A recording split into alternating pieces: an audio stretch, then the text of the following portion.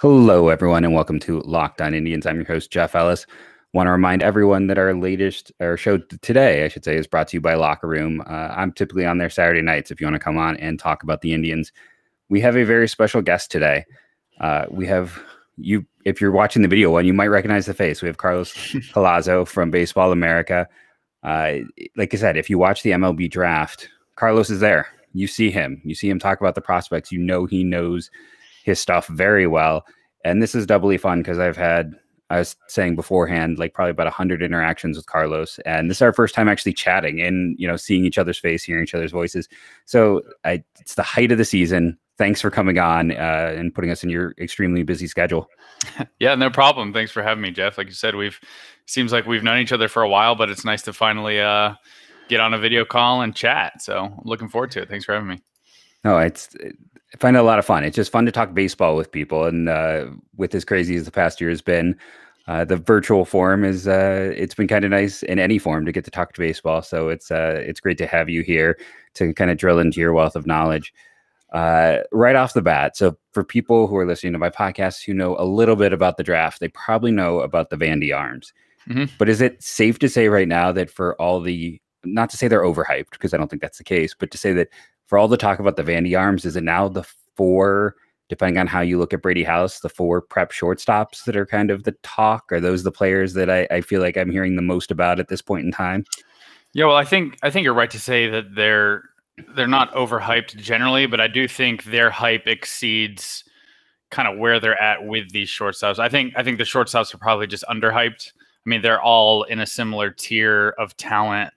Uh, really, throughout this entire process, we've had four guys, maybe now it's five guys who are kind of in this top tier of players, and no one really has a consensus on who's the top guy. Some people might like Jack Leiter, some people might like Kumar Rocker, some people might like Marcelo Mayer, the high school shortstop out of California, and some people might prefer uh, Texas shortstop Jordan Lawlar. So those are typically the guys that get talked to, about at the top, and I understand why the Vanderbilt arms are very popular for people who maybe aren't as uh, in deep in the draft just because you can see them every weekend. They play for a very prominent college program. I mean, Kumar Rocker is, is perhaps the most famous college baseball player we've had in years. Maybe Jack Leiter is is kind of at that same level given what he's done this year. So I understand it, but I do think there is a lot of uh, attention for the high school shortstops on the team side who are picking at the top of the draft.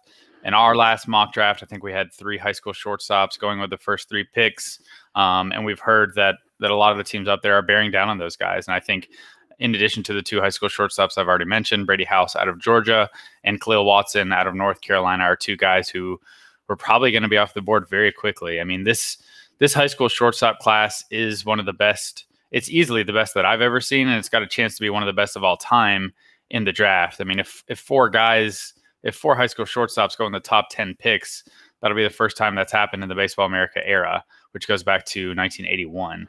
Uh, and, prior to that, it was just kind of a different draft environment where college players were not as uh, heavily sought after as they are at this point. So it's a very strong year for the high school shortstop class, but we don't have the kind of locked in number one prospect in this year's class that we have the past three drafts. So it'll be interesting. Yeah, you know, you talk about like history. I know this is a Locked On Indians podcast, but one of my favorite like random historical facts is that in the entire history of the draft, and we're what, like over 50 years now. The Detroit Tigers in the first round have drafted a shortstop twice, one of those being Scott Moore, who the minute he was drafted was moved to third base. Uh, I know, you know, I've talked to some people who have some Tigers connections that, you know, Mayer is the guy they love, but House is also there and House may move to third. Uh, it, it is to me very interesting idea that the Tigers – would go shortstop, but doesn't it? I I guess I'm you know without giving too much information. Uh, the high school shortstop seems to be a position that I've heard heavily just in my minor chats there, which would be like I said, going against 50 years of history.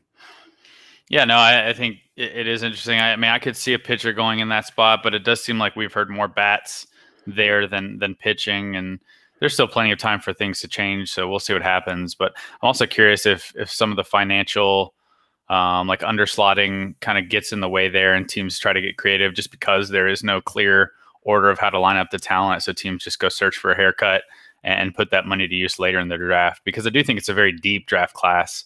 while maybe some teams are are underwhelmed with the the amount of impact talent at the very top, I think this is one of the better draft classes that I've covered in terms of depth, and that's partially because it was a five round draft last year when the 2020 class was was already strong on depth, and many of those players are back. Um, and there's just so so little consensus this year because of how the draft cycle has played itself out that it's really I think from a fan perspective, it's probably going to be one of the more fun drafts to watch, just because I'm I'm assuming things are going to be all over the place and pretty crazy, but we'll see. You know, you, you talk about consensus. Uh, is it fair to say that there's only maybe two spots of consensus right now: top college bat and top prep arm? Are those? Do you feel like those are consensus with uh, with the players there, or uh, you know, is there anything else that you think is consensus? But I, I think, as you said that. No, I think that's that's pretty fair. I think I think most people would have Henry Davis out of Louisville as the top college hitter in the class. I mean, he's had a pretty tremendous season, and really from the jump, he was performing at a high level, showing power. Uh, doesn't show a lot of swing and miss.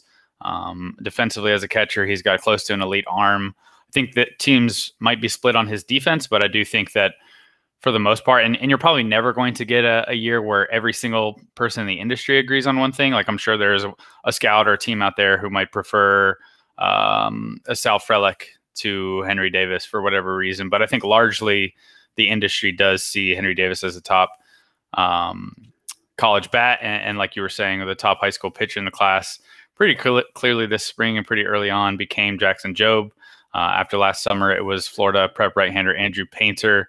Uh, but Jobe out of Oklahoma really has has taken a step forward this spring. Um, the the people who like him see three plus pitches across the board, really innate feel for spinning a breaking ball. I think probably one of the better prep breaking balls since Carter Stewart a few years ago. Um, so he he's kind of stepped into that position. So I think those are pretty fair claims to say that that those two positions you can have some sort of an industry consensus on. Whereas with with college pitching, maybe it's a little bit dicier. With high school bats, there are a number of options who you could make a claim for. So I, I think that's a good, a fair point. Something else, just as someone who likes to dig into the minutia and the history of it, you know, you mentioned Khalil Watson, who's kind of like the, you know, the the last of that tier of shortstops. It, I feel like that's something, you know, very recent where Khalil Watson, just due to his size, would have never been considered a top 10 pick because he mm-hmm. is not the biggest guy. And now we see, you know, Indians fans know that size doesn't necessarily mean you can't hit for power. Jose Ramirez is all of five eight, if yep. that. And Francisco Lindor was not the biggest shortstop, and he had 40 home runs. So if you can just talk about like Watson's general tools uh, at the my very first, I always do my way too early mock, and the only picks I've ever gotten right is the White Sox because you can just I did it back to back years because they're so easy to to do that. But my way too early mock back then, I had uh, Khalil Watson to the Indians and talked about how he was their ideal infielder. Unfortunately, if you're an Indians fan, everyone else kind of woke up since September, got more views, and he has been on that steady climb. So, uh, just if you don't mind talking about Watson for people who are not as familiar. Yeah, I mean, I've talked with some people who think Watson might have the best. If you just grade him out across the board, I've talked with some people who think Watson might be the most talented player in the class just based on the tools. I mean, I think Jordan Lawlar is a very impressive athlete, but it, it's certainly possible that Khalil Watson is the more explosive athlete of all these shortstops we're talking about. He is the smallest of them, so maybe you don't project as much power as you could with Brady House or Marcelo Mayer down the line. Uh, but he has some thunder in his bat. I mean, he's got pretty electric bat speed. Again, some some scouts I've talked to have said he has the best bat speed in the high school class. He was an excellent performer last summer. He he squared up some of the better pitchers in the class, including some really tough left-handed at bats uh, that he he drove with authority. So that was really impressive for him. I think teams that are pretty model heavy are going to like a lot of what he brings to the table in terms of bat to ball ability, performance against uh, some of the top pitchers in the class last summer, um, and his age. He's he's fairly young for the class. Um, so I think you put all that together, his running ability. Uh, he's got all the tools that you would want for a player to stick in the middle of the infield uh, as a shortstop. I think probably with with any high school shortstop, there's there's a little bit more refinement that you're going to want to see, but nothing that you would project him to to have to move off the position unless he was competing with some Gold Glove shortstop and it just was a better fit for your team. So uh, there are a lot of traits to like, and I do think that to your point about um, smaller players being inside the top ten, we've got a couple of them this year in in Khalil and with Sal Frelick, both who are listed at five foot nine. Neither of these guys are are big guys, but it does seem like teams don't really care that much anymore. Size is not uh, prohibitive to these teams, especially when uh, you might even have more conviction in their ability to hit. If you're a shorter armed guy, you don't have a long swing. Maybe there are fewer holes in your swing. Um, and given the way that power is playing in the big leagues, you don't have to be a big, beefy slugger to hit for average power and, and even more in some cases. So I really think that with Khalil, there's there's no real hole in his game to speak of. If you do want to pick nits, you would say, well, he, he's not going to be a massive power guy, but I mean, he doesn't have to be a massive power guy to be a very good offensive uh, performer. He he can run, uh, he can hit. Certainly, he can hit for gap power. I mean, he's hitting for power now in high school. Um, how much you think he's going to have in the future? Maybe is is up for debate, but it's at least going to be solid power. Um, and if you're a if you're an above average or plus hitter with average power, 70 grade speed, and premium defense, that's that's a really good player. No, absolutely, and it's one of those things like. I feel like more and more I stop looking at height and I start looking at, you know, you talk about bat speed and then just when you can find those max exit velocities, uh, it, it, it's, it's interesting just how much has changed. Like I mm-hmm. started, I started heavy doing this like in 2011. And I remember writing about like the 2011, 2012 Indians drafts about them targeting undersized players as a market inefficiency. And here we are like a decade later. And it's like now the rest of the market's like, yeah, yeah, we don't care. It, you, you just talked about Sal Frelick. Uh, what if he's even smaller than Watson? I I just love the athletic profile. Mm-hmm. I don't know. You know, we, we see a lot of quarterbacks, and he was the all-state quarterback. I can't remember the last time I'm sure some of the Canadian players, of course, but the the all state hockey player as well. And I'm very curious to see like does that translate into like balance and mm-hmm. like mechanic? You know, it's it's just so many of those parts and pieces. Uh, with Sal Frelick, how do you feel? He's interesting in the regards that like I've seen him in some places like sixth. I've seen him in some places like 16th. Mm-hmm. What do you think the the disconnect with him is? As there there does seem to be a variance of opinions with him. Mm-hmm. Yeah, I mean, uh, if if he goes 16, uh, whoever whoever takes him there, I don't remember off the top of my head who's picking 16. Uh, the Brewers are 15. Who's right after that? The Reds are 18. Uh, I can't think who's 16 or 17. If the oh, Marlins get right. Frelick, if the Marlins, I just looked it up. If the Marlins get Frelick at 16, that's a phenomenal pick in my mind. I think he's, I think he certainly belongs in the top 10. We have him ranked in the top 10 because the scouting industry has given us the feedback that he belongs there. I, I do think the question and what probably limits him from being in, in this elite top tier is, is, the question of impact. I think just based on where they are in their stages right now, you maybe can be a little bit more optimistic for the sort of power that Khalil is going to develop as he continues to grow and, and develop physically. But Sal is still a smaller guy. He's shorter. He, he's pretty well filled out for his frame, so he's not like a super skinny guy. Uh, and he does have some power to the pull side now. I think it's a question of how much power is he going to have um, in the pro game, when he's using a wood bat, um, he has a tendency to get a little bit slappy at times, which has worked for him. He can he can push the ball the other way and use his uh, double plus speed to turn singles into doubles and things like that. But again, when you kind of break down the tools, I think he's a he's a plus or better runner. I think he's going to be a really good defender in center field. He he has the athleticism that you would want for a premium defender doesn't have the biggest arm, but you don't really need that in center field with the running ability and the glove work that he can provide there. He's another guy who, kind of like Henry Davis, has really good pure bat to ball skills. I think he is a little bit more uh, aggressive in terms of chasing outside of the zone than Davis is. So that might be another nit you could pick with him. Maybe you think that better pitchers will um, be able to expose that in his game. But again, at the same time, I think he's found success with hitting pitches outside of the zone and jumping on pitches that are not necessarily uh, like firing off your A swing every time. If he gets better at doing that, I think he can be a much more efficient hitter in the pro game when maybe he's not able to kind of slap out of the zone stuff around as easily as he's doing right now. But I think that, especially considering the college hitting class there this year, Frelick would be. I mean, personally, for me, he would probably be my second uh, college bat after Henry Davis. And I think there are, there are probably scouts who believe that as well. But you get into the Matt McLain at UCLA tier, you get into Colton Cowser at Sam Houston State. Uh, so there are a couple of guys who are maybe more jumbled once you get to kind of the second tier of players in this class. But I'm very high on Frelick, and I think maybe what separates him uh, or, or what excites me about him is just that competitive nature that he has. You mentioned the multi-sport background out of high school every person that I've talked to that knows him personally, coaches, scouts who are really close with him, just rave about his his makeup and his his intensity, how he plays the game. I just think he's going to get every last bit um, of talent out of himself, and I think he's going to he's going to make the most of his tool set and then some. I think he's really that type of player. Um, yeah, I, am really excited for whatever team gets him. I think he's going to be a very fun player to watch, in addition to a very good one. No, I, I definitely agree with you. I think the four college players you named is the exact order I have them in. So I'm I'm right there with you with Frelick too. Uh, we're gonna take a quick break here, talk about our sponsors, and I'm gonna come back and uh, ask Carlos a little bit about the uh, the Ohio kids. It's the you know I, I told as I talked about on the podcast, I moved out of Ohio two years ago, and of course uh, they proceed to have the greatest class I feel like in the last ten years. So I'm going to ask Carlos all about some of those talented players, uh, specifically some MAC players in a second. But let's talk about RockAuto.com. They've been our sponsor for over a year. You know by now it's a family-owned business serving auto parts customers online for 20 years. Go to RockAuto.com to shop for auto and body parts for hundreds of manufacturers. They have everything from engine control modules and brake parts to tail lamps, motor oil, and even new carpet.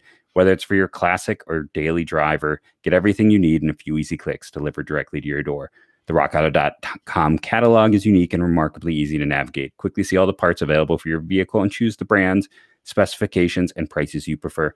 Best of all, prices at rockauto.com are always reliably low, and the same for professionals and do it yourselfers. Why spend up to twice as much for the same parts. Go to rockauto.com right now and see all the parts available for your car or truck right locked on in their house.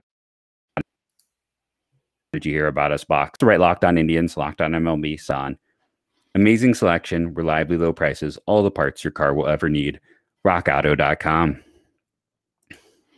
Okay, so there's the so and the okay, which lets all of my listeners know I've been doing this for 500 episodes. we did our 500th episode last week. I still can't break that. Uh, I, uh, every...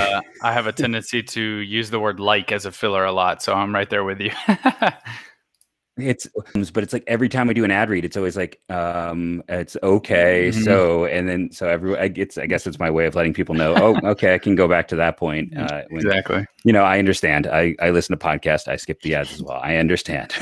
uh, but you know, as I was saying beforehand, uh the 20 let's see, I moved let's see, we lost 2020 was like I didn't get to see any college games. Uh, 2019 was my last year in Ohio, and that was not the strongest year necessarily there. Uh, the MAC was down a bit. I think it, was, it may have been the Drey Jameson year. Uh, mm-hmm. was the top guy. But uh, this year, it's I, I can't recall the MAC in particular, and you know, the, just Wright State is always its own little powerhouse. But and the MAC is uh, Sam Bachman. We have to start there, right? I mean, he's he's going to probably go in the top 15 picks. Is that a, a, safe assessment to to say? I mean, I know there's more risk, but if you're mm-hmm. let's put it this way, you know, we bet online is one of our sponsors. If you were gambling, you would bet in the top 15, not after the top 15, right? Yeah, if I had to pick one of those, I would definitely take within the top 15. But I think the, the safest range is probably in that kind of like 10 to 20 range. So somewhere in the middle of the first round, I would expect him to go. I mean, in, in some ways, I think of him kind of similar in very different ways, but kind of similar to Garrett Crochet a year ago. I mean, he's a guy with explosive, pure stuff. Who, if you put him in a big league pen right now, like we saw with Garrett Crochet, I think he would be able to get outs. Um, it's maybe the most explosive two pitch combo in the draft with a fastball that's routinely up into the triple digits and a slider that gets 70 grades at times. It's it's probably one of the harder sliders in the class.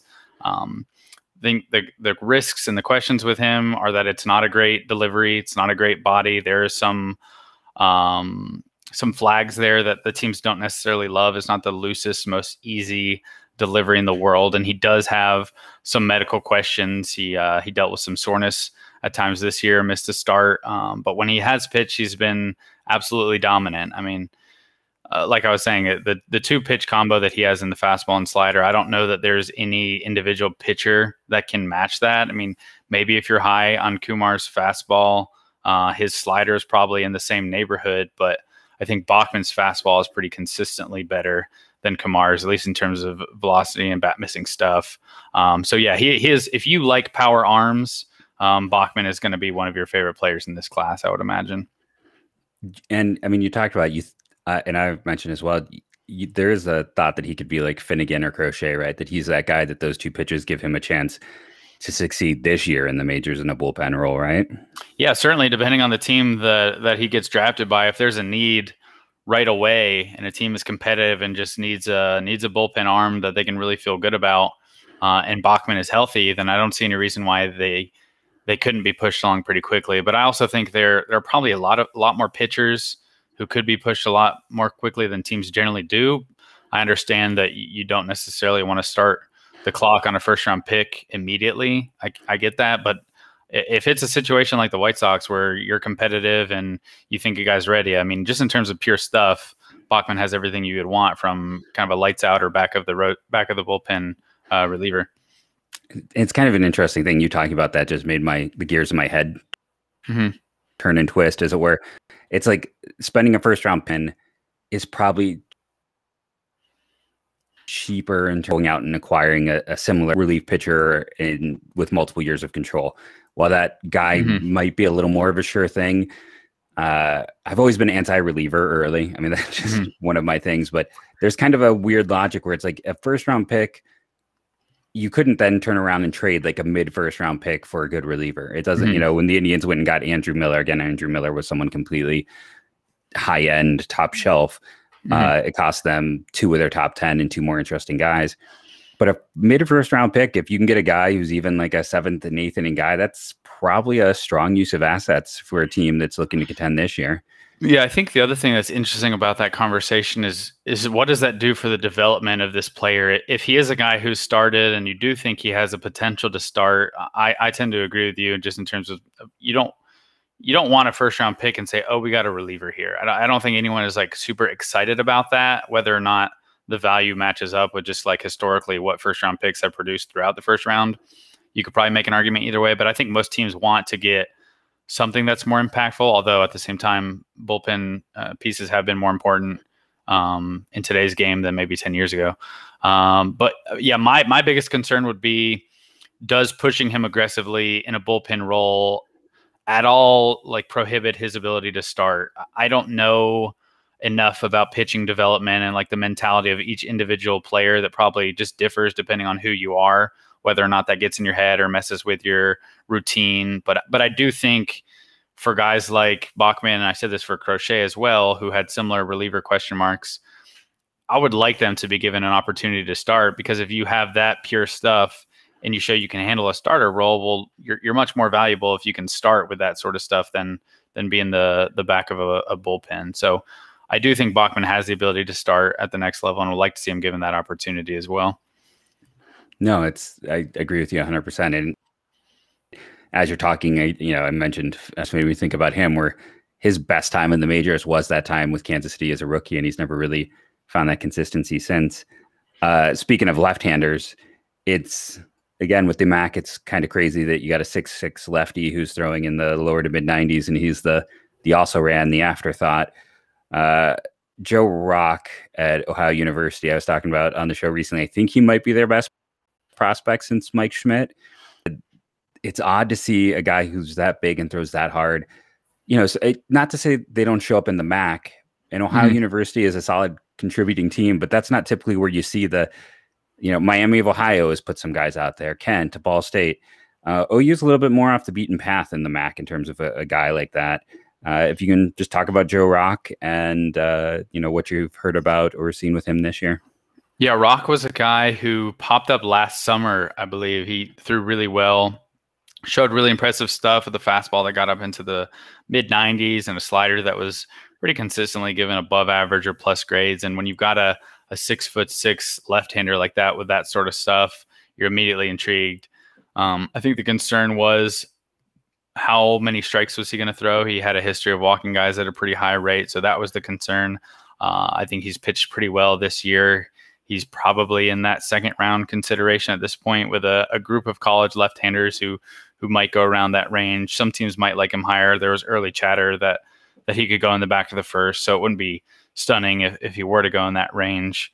Um, but yeah, no, I think the the two pitch mix is really exciting. Uh, he doesn't have to live in the mid 90s uh, with his fastball and the extension and sort of the look that he gives hitters. Uh, he can live in the low 90s with his fastball and he should be fine. Um, and he's one of the better left-handed pitchers in this class. I mean, he's he's probably in that second tier that has a couple pitchers, including uh, Michigan left-hander Stephen Hajjar and a few others. Um, I think Jordan Wicks is pretty solidly the top college left-handed pitcher in this class, but there are a number of good ones that I think we should be expecting to see go in, in that second or third round range, and, and Rock would certainly be one of the one of the first ones that you point to. Now I know the traditional way would be to ask you about uh, Albright at Kansas State at this point, or Kansas State, Kent State. Ooh, getting my states confused. Uh, but instead of going there, uh, the guy I'd like next in the state, just in terms of uh, college players, is Tyler Black at Wright State. Uh, I mean, Wright State has turned into a factory. Uh, it's you know Peyton Burdick is is a top 100 guy. I think almost most places are considered uh, in that talk. Let's at least put it that way. Uh, Seth Gray got a lot of money. Uh, Sean Murphy is of course with Oakland. Black, I like just looking at him on face level. On face level, no, that's not the expression I want. you know, just on a very basic level, he's going to be 20 until July. He's a Canadian kid. It's a cold weather, small school, cold weather young for his class, uh, performing really well at an underrated uh, baseball factory. Mm-hmm. Uh, you know, it, it, could you, you know, speak more to Tyler Black and uh, what he is showing or doing uh, in terms of uh, his own profile for this draft? Yeah, Tyler Black is one of my favorite players further down the board in this year's class. He was, and it's partially because we had him as a sleeper, and he has certainly lived up to that tag. And and I don't take credit for that. It, it was scouts who tipped us off to him. We we reach out to scouts to to get those sleeper lists at the beginning of the season, and and he had a a pretty down year last year in the shortened season. Um, but again, if if you're talking with scouts, they they kind of know they can see beyond just the the statistical results. They really liked his left-handed swing, his zone control. Um, and this year, he has had the exact season that kind of scouts saw him being able to have if he got more time last year. He he is not the toolsiest player. He is not going to be like a premium defender, um, but he is a very very good hitter. Uh, I think in his first game of the season, he matched up with Vanderbilt and hit a double to right center field against Kumar Rocker, uh, and has pretty much continued to just rake the entire season. I mean, I think seven or eight of Wright State's hitters are hitting above 300, so the entire team is just mashing. Um, that team has is just loaded with with hitters who are performing. But Tyler Black just controls the zone really well. At this point, I'm just kind of looking over his numbers. He's got 39 walks to 24 strikeouts, um, and it's not the best competition, but he does have a history of that really impressive zone control, and he has performed against some of the better pitchers when he's got a chance to face them. Uh, like I mentioned with Rocker, so it's in a class that is not super rich with college bats, this is one that you can probably feel pretty good about. He's probably not going to have a ton of power, but you can feel really good that he's going to be a consistent hitter for you day in and day out.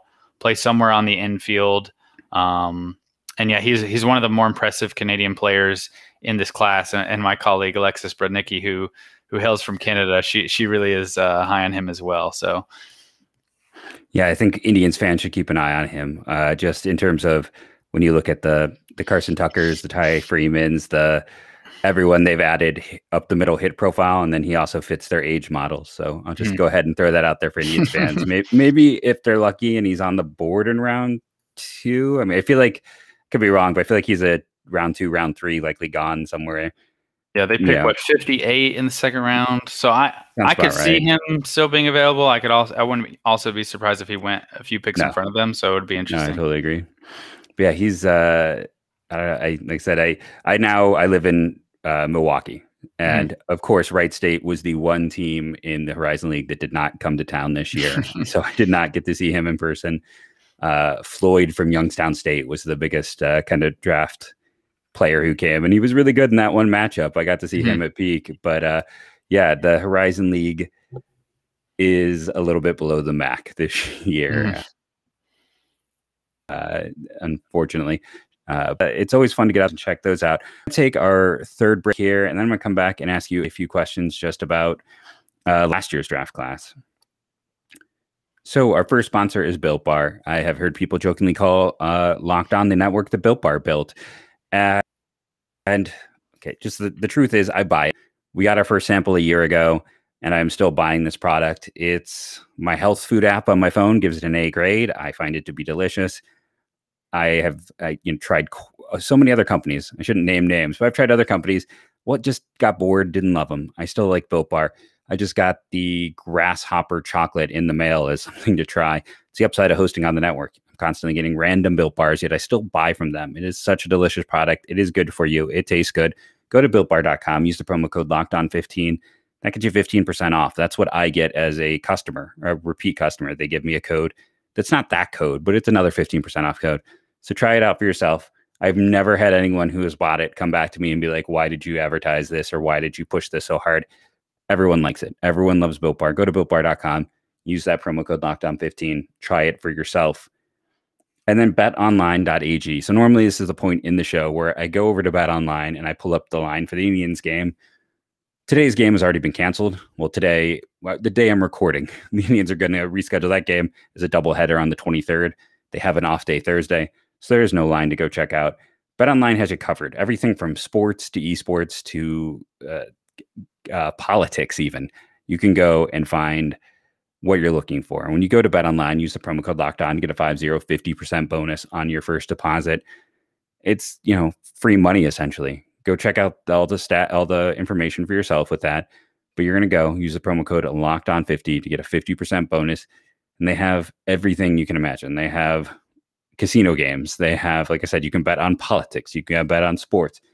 You can bet on was it like mixed martial arts? Well, I know like that's now a big thing, but not like just the uh, the the uh, stuff out in the octagons. You can go bet on anything you can imagine. You find it over at Bet Online. Check it out for yourself today.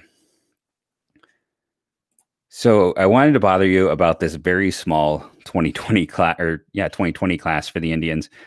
Uh, going back to the days when I started, when it was still a 50 round draft, last year felt like well, first off, how odd did it feel to finish after five rounds? Didn't it feel like you're just supposed to get started at that point? It was, it was, I didn't know what to do with myself when I was like, okay, we're done. Yeah, it was, it was really disappointing to be honest. I mean, because again, the 2020 draft, I think the biggest um, selling point for that class was the depth, and obviously with a five round draft, that immediately gets cut off. You do, you don't get to see any of that depth.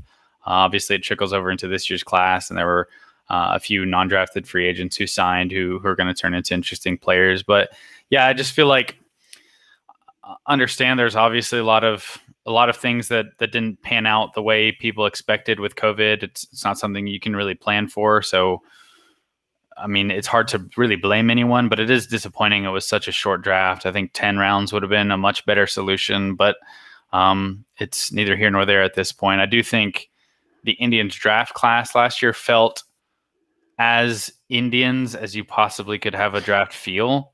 And maybe it is because with with five rounds, literally every single player seemed to match their exact type.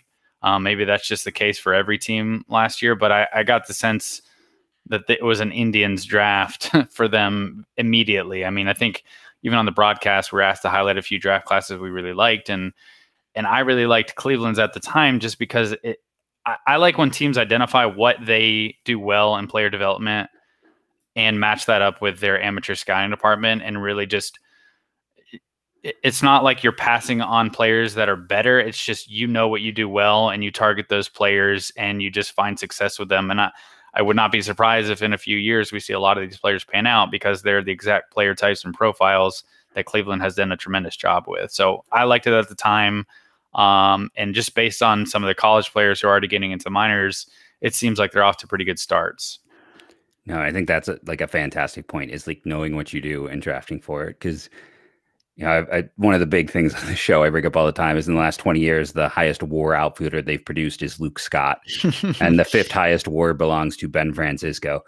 Uh, and then they spent about six years in the early uh, 2010s drafting nothing but outfielders in the first round, and they don't have a lot to show for it. Mm-hmm. And they took some high risk chances on um, some riskier prep arms, and we still don't know what's going to come yet. Uh, most of them have had an injury that has slowed their development.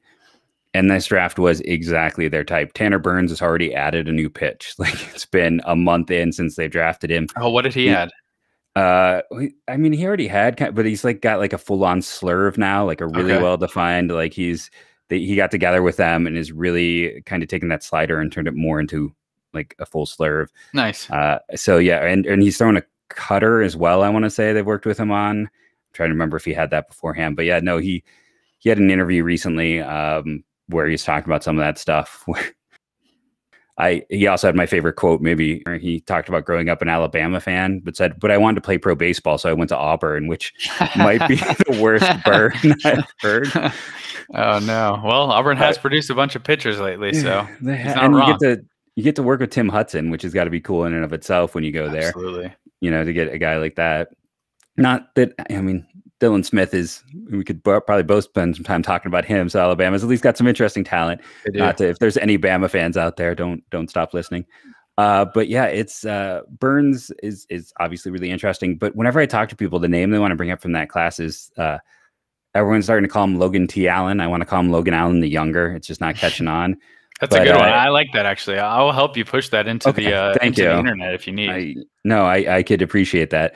Yeah, I just feel like the younger uh, isn't outside of like Roman history. We don't. It's got some stuff. Game of Thrones vibes. Yeah, so exactly. So I, I, think we could go with, but he's the guy a lot of people want to talk about. Uh, I I mean, uh, my my favorite random stat, and again, it's unfair because Garrett Mitchell got hurt. But I'm always like, hey, Logan Allen had more home runs in college than Garrett Mitchell, who got drafted before him. So. Uh, again, he got hurt and he had a, he was developing. It, it's it's kind of like if I took a dig at Matt McLain, also a UCLA mm-hmm. guy, where it's like they had slow developmental curves and mm-hmm. they had injuries. It's it's not quite fair. Don't but like yeah, UCLA on this podcast, huh? I have been kind of I have been kind of crappy to UCLA on this podcast yeah.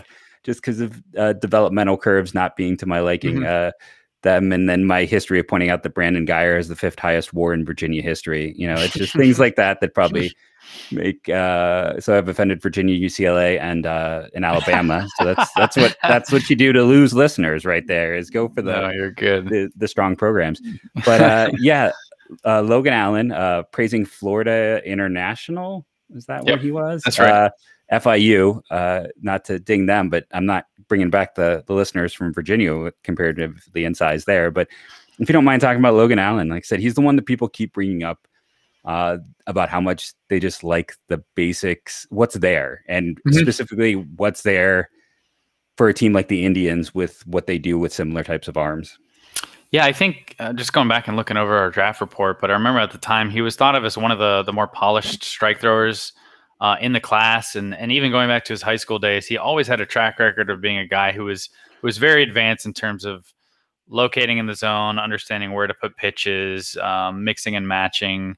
Um, and what what changed for him, I think, in college is that he took a changeup that was kind of a below average or fringy offering, and he turned that into a real weapon. And scouts thought of it as a plus pitch at the end of the day before the draft. Uh, obviously, the two way thing was interesting, but pretty much everyone we talked to thought his future was on the mound. I mean, a left hander who runs his fastball into the 93, 94 mile per hour range, mostly sat in that 90 to 91 mile per hour range, but really the performance and the results he had was was always really good. He never walked more than I think 2.7 per nine um, in his college career, and so far in the minors, it's it's below two per nine uh, in a few starts this season. So I think he he is that in again that that pitcher that the Indians have found success with, a guy who doesn't necessarily have the best pure stuff right now, but has the command traits that seemingly you cannot teach pitchers or is very hard to teach pitchers or, or improve much more than, than what you just are able to do.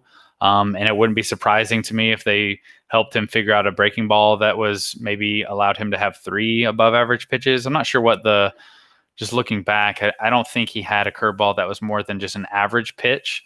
Um, so it wouldn't surprise me at all if the Indians were able to take that and and beef it up a little bit like they've done with some of their other pitchers. But um, again, one of the better left-handers in the class, if I'm remembering correctly, and just a guy who who didn't scream ceiling in the draft, but you could feel very safe that he was going to be a reliable pitcher for you at the pro level. And as soon as a team like the Indians took him, you just wondered, okay, what's he going to turn into now? Because of the success that they have had with pitchers of that type. So that's kind of what he was like. And and Tanner Burns is similar. Uh, again, not not the most overpowering stuff. We we saw him as a a legitimate first rounder. Um, the Indians got him in the comp round, I believe. Um, but again, a guy who had some of the best command in the class. Um, really, really loud SEC performance throughout his entire career. Took the ball seemingly every week and just posted. Um, not the sexiest frame in terms of projection or size uh, or breaking stuff, but really good feel for for everything that he throws. Solid average across the board with everything. So I feel like those two are similar. Although one is lefty and one is righty, and, and one came from a power program and a power conference, and one from a, a little bit smaller school, but both very similar traits, I would say. Yeah, and even Mason Hickman, who maybe has the least amongst like quote unquote stuff in that group, mm-hmm. is also right in that line. They definitely they went hard at their type, which is what you said. It, it's why I loved the group as well. I was like, you know, we could, Mason Hickman was the ace, not Kumar Rocker, and it's like, well, maybe if the Indians get him to develop just a little bit more velocity or anything else, it's like uh, he's the one I'm kind of most intrigued to watch this year, just because mm-hmm. if there's any sign of growth, that could be maybe the biggest steal for them in this class. Because I mean, he dominated the SEC. He dominated. He was about as good as it gets, in as mm-hmm. good as it gets, and that was with stuff that really.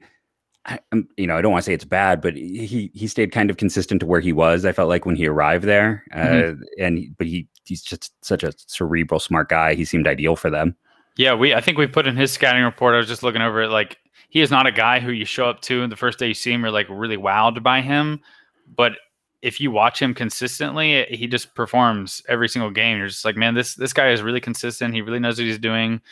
You can find louder stuff all over the country, but just in terms of putting everything that he has together and, and working through a lineup and getting outs, he's he's very good. And again, all these guys, just kind of looking over their line so far, have performed, and all of them have pretty impressive strikeout to walk rates, which is what the what the Indians seem to be targeting. So it's working yeah, out for them so far.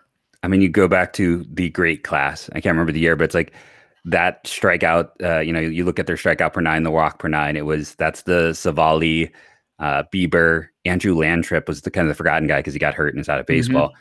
And then Plesac was also he didn't quite have that line because he got hurt at Ball State, but he was also part of that class. But uh, the last time they did that, not to say they're going to get another Bieber and Civale and Plesac, but uh, that was the last time they really kind of went with similar guys. So mm-hmm. I just applaud them for being aware I think that's uh, an important thing.